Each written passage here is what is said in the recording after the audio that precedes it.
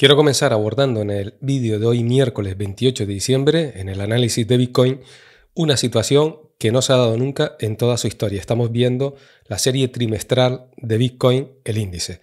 Antes de nada, déjame que me presente, yo soy Esteban Pérez y vamos a comenzar el análisis de hoy, el primer análisis, con la siguiente información. Además, veremos hoy el análisis tanto en la serie diaria como en corto plazo de Bitcoin también el momento que atraviesa Ethereum en serie diaria y en corto plazo, para que podamos comparar el SP500, análisis del Nasdaq, el cómo se está mostrando ahora mismo el coeficiente de correlación entre el Nasdaq y también Bitcoin, y vuestras últimas peticiones con Dogecoin, Mana, AVAX y NIAR. Y además también compararemos a Bitcoin, la moneda, con los futuros CME donde desde la semana pasada detectamos este nivel, el 0.25 calculado, que en los futuros le está haciendo de soporte y es el que está frenando a la cotización de Bitcoin, a la moneda, sin que se produzcan mayores caídas. Haremos todo esto en este primer análisis en unos minutitos. En el segundo análisis de hoy dejaremos el resto de las criptomonedas que me vais pidiendo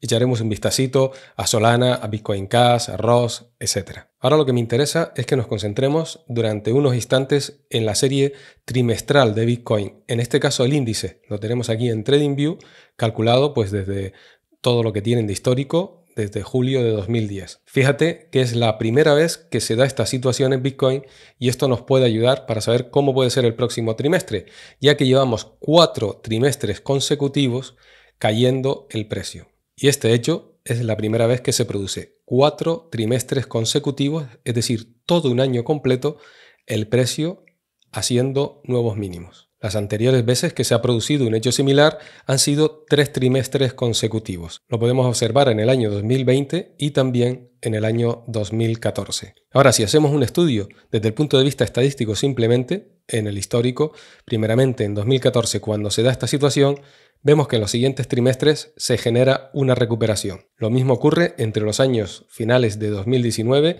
y 2020, también vemos una recuperación en el siguiente trimestre. Otra ocasión que hubo, en este caso dos trimestres cayendo, también tuvo una fuerte recuperación. Ahora además si añadimos al estudio el máximo que dejó en 2017, es la zona que está siendo de soporte histórico primeramente aquí en el trimestre de abril y ahora está haciendo, ejerciendo de resistencia, son los 19.800 dólares.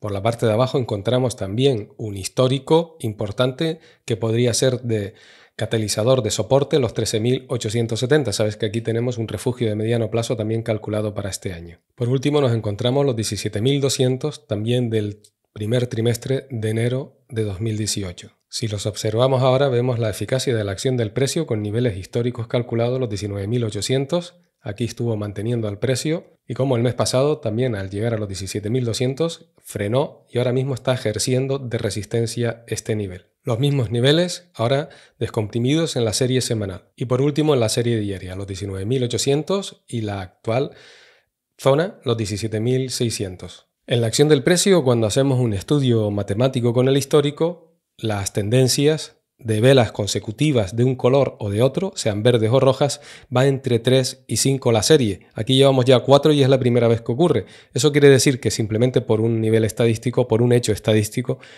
bien el primer trimestre de 2023 o bien el segundo, ya sería uno que empezaría a ser positivo. Y eso nos puede empezar a ayudar a pensar que estamos ya en la zona de suelo entre los 13.000, 13.800 y los 16.000 dólares por donde nos encontramos ahora mismo con estos niveles calculados. Así que pasamos ya al estudio de la serie diaria de Bitcoin. Seguimos frenado por debajo de los 16.833 el precio de apertura semanal. Vemos que la vela de hoy ha estado traspasando el mínimo del día de ayer sigue teniendo como escenario venir a los 15.600 dólares y si pasamos a la serie de 4 horas para ver el mapa para esta semana, se ha estado introduciendo en la zona roja donde podría terminar el precio en los 16.269. Vemos como ahora mismo en preapertura de Wall Street está yendo a buscar este nivel que es el 16.691 el mínimo de una onda que estamos midiendo que puede ejercer de resistencia. Si eso ocurre, seguimos trabajando con el escenario de la tendencia que tenemos actualmente, bajista, con primer objetivo en los 16.269. Falta la confirmación de este escenario, por eso estoy colocando la flecha en caso de que haya un cierre por debajo de este mínimo, de esta vela, entonces ya estaría la confirmación y se podría dar con bastante más facilidad el que llegue al objetivo de los 16.269. Por último, lo que vamos a hacer es ver la comparativa de Bitcoin con los futuros de Bitcoin en el mercado CME, que además cierra mañana y ya sabes que tiene un horario especial tanto el lunes como el próximo martes. Los 16.544 le ha estado dando apoyo en los días anteriores en que ha llegado la cotización y es la que está haciendo ahora mismo que se frenen las caídas de soporte. En caso de que lo terminen penetrando, de que se produzcan eh, cierres de posiciones para tomar beneficio en estos últimos días del año, como suele ocurrir, entonces la pérdida de este nivel confirmaría ese escenario que acabamos de ver en la serie de cuatro horas de que se confirme eh, Bitcoin el venir a buscar los 16.269.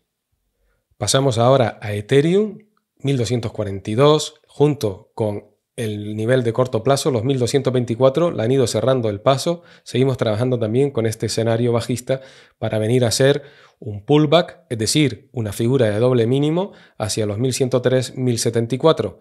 Si lo analizamos en la serie de 4 horas, terminó perdiendo los 1203, el 0.3820 de la onda que se está calculando, ahora está detenido en el 0.50 que son los 1193. Si los pierde, Así podría derivar hasta la zona de los 1103.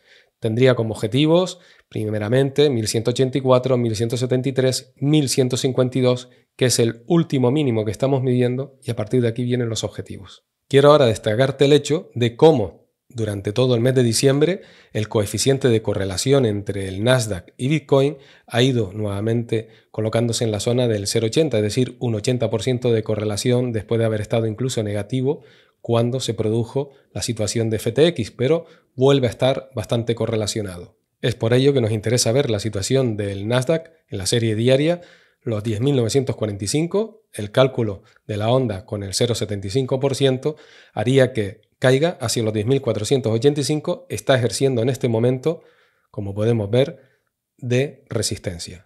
Y es que si bajamos a la serie de 4 horas vemos que también ha alcanzado primeramente el objetivo de los 11.194 del corto plazo en este time frame, el 1.25, ahora está situado ya por debajo, lo ha perdido, los 10.965, el 1,5, desde que llegó aquí se produjo este pullback con doble mínimo y de seguir así 10.736 y 10.506 serían sus dos objetivos siguientes. Volvemos a echar un vistazo entonces a la serie diaria y esos niveles podrían llevarlo, como vemos, hasta los 10.000 y los 9.800, que es donde al fin y al cabo tenemos calculado que haga toda esta posible caída como escenario más probable. Mientras que el SP500 está deteniendo las caídas, los 3.816, 3.817 números redondos, aquí está haciendo de soporte, pero como vemos con muy poca liquidez ya estos últimos días. Por cierto, hay un estudio que estoy preparando en un vídeo temático donde el SP500 utiliza como señales adelantadas a Bitcoin. Muy interesante este estudio, verás que cómo puede ayudarnos. Bueno, y ahora de una forma más rápida, después en el segundo análisis lo haremos con una forma más detenida, que llevamos bastante información en este vídeo, Dogecoin.